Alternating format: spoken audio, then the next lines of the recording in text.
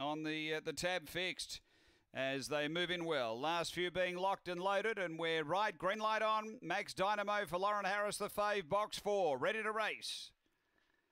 They're set on their wage. It's a great line out. Max Dynamo in the ruck a bit early. Speed Linger. Jess out deep's going to push on. Max Dynamo gets clear air now and moves up boldly to challenge. Three away, zipping dodge. Uh, then came Soul Rocker. Next, Victor Boris, Crown Simba and Cherokee Cash. But in the straight, Max Dynamo goes for home. Clear of Alinga Jess and out deep, zipping dodge. And Max Dynamo won it by four.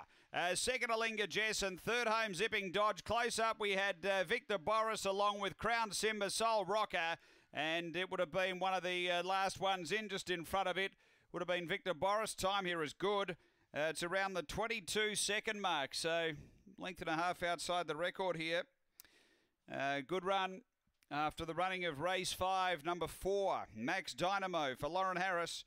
He was just a touch sluggish away. He had a bit of crowding in the early part, but then he very quickly worked his way into the race and uh, worked around, took the front, and that was it. Numbers are four, six, seven, and fourth home is number one. Max